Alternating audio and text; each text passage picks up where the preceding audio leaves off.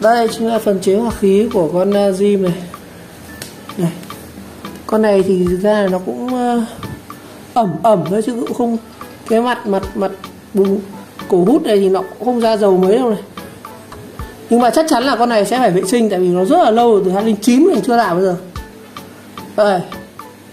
Đây vít uh, gió vít xăng này. Đó. Ok đây mặt bên này. Ừ, nó cũng đen hết các kiểu rồi này. Đó đấy ok nhá. Đây nó cũng ẩm này. Ẩm xăng các kiểu luôn. Đây, con này nó chảy. Đây là cốc xăng này. Con này hiện tại thì mình đang khóa xăng nhé ok. Phần mặt này. Ôi trời ơi. Đây là cái ống ờ, xăng thừa này rồi.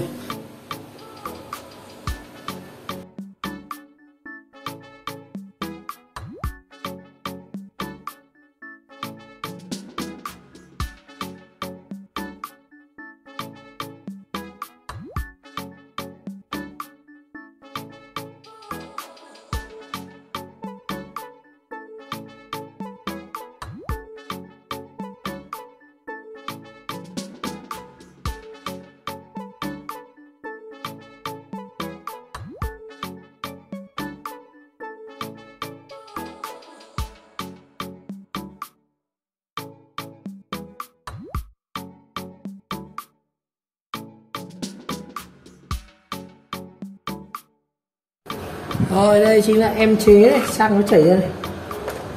Xăng mát lạnh rồi đấy xăng nó chảy ra này. Này, nó bẩn đen xì xì thù lù luôn anh ạ này làm cũng mệt đấy nhá.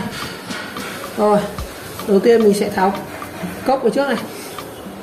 Con này thì anh em dùng cần lên 17 nhá. À dùng trong tháo nhẹ thôi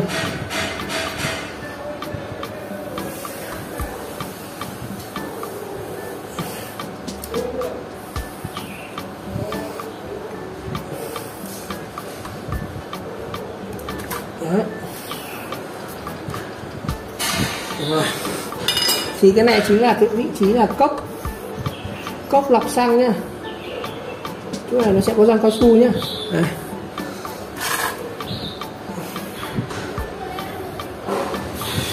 Sẽ rút về ra. Để mình chặt thế. Chặt vã rồi, để tháo tiếp cái này nhá. Mình sẽ tháo cái mà cái này. Cái này là cái chén cốc xăng này.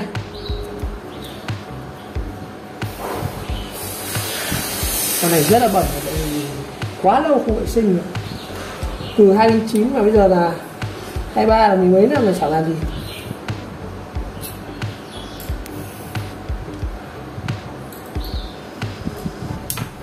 Đây, mình sẽ tách ra này.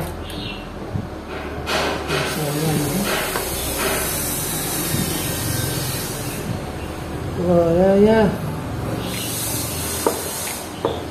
Rồi mình sẽ rút nó cái à, này. Cái này là cái à, dây à, xăng dây xăng gì ta? Nó gọi là dây xăng kiểu thừa ra thải ấy.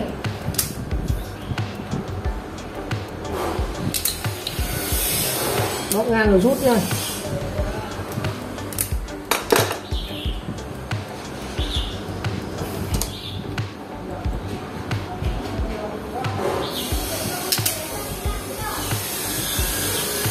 Nó đứt rồi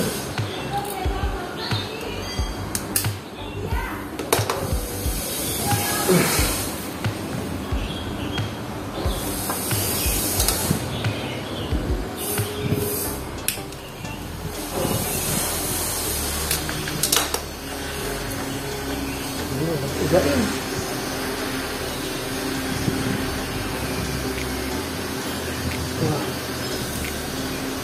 sẽ rút cái này ra nha cố gắng nó rút nó ra thì để mới vệ sinh được cái lọc xăng ấy. Cái răng này nó cũng hỏng gỗ đen này. Cốc đen xì xì luôn này. Đây, cốc đen xì luôn. Rồi. Ở trên này thì mình sẽ tháo đây táo, ờ, ô con này là phao nhựa. Rồi mình sẽ táo vệ sinh cái kim ba càng này.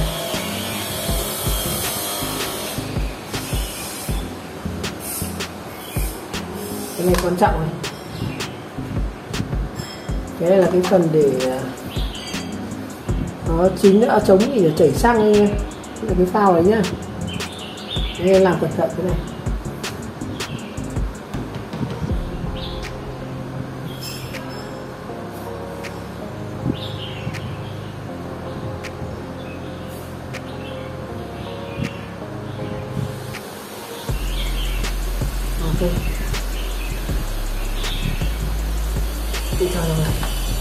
Rồi cái phần này thì uh, ủa cái này nó bẩn hết rồi. Cái xích lơ này. Đây là có hai cái xích lơ hai cái bét các chính này cái bét này bét nuôi guarantee này. Thì chúng sẽ tháo ra nhá. Dùng tôi biết hai cạnh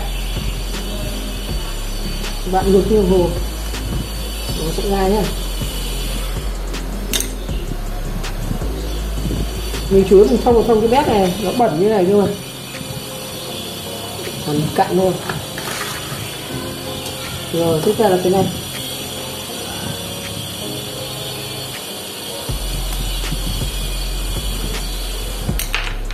Nó chặt quá thì mình kìm nhé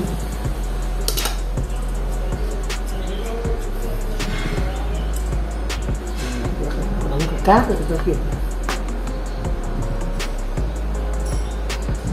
cát rồi. Sao xe nó yếu rồi rồi mình sẽ tháo tiếp hai cái ốc này. Đây là hai cái ốc uh, ốc ốc xăng này. Đấy, ốc xăng nhé mọi người.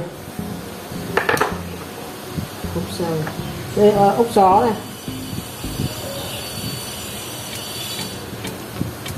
Này chú ý là trong nó có có so và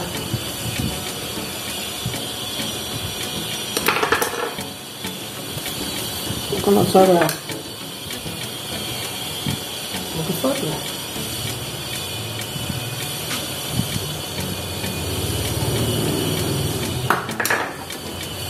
Kẹt mãi luôn chẳng được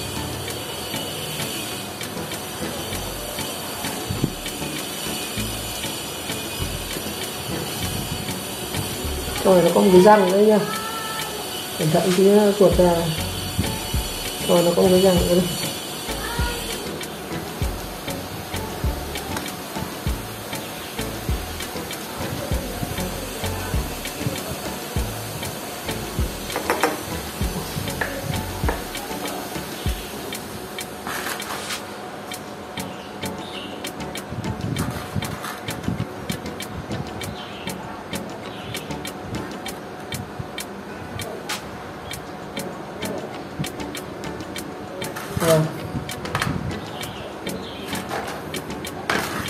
ok đây là hết rồi anh em bắt đầu mình sẽ vệ sinh nhá rồi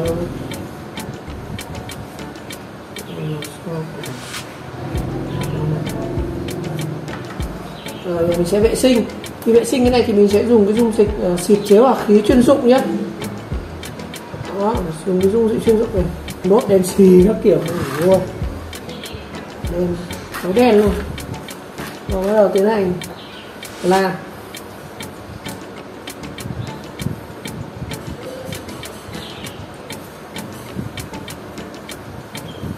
Sao nó chặt thì không rút được cái này à thế. Rồi.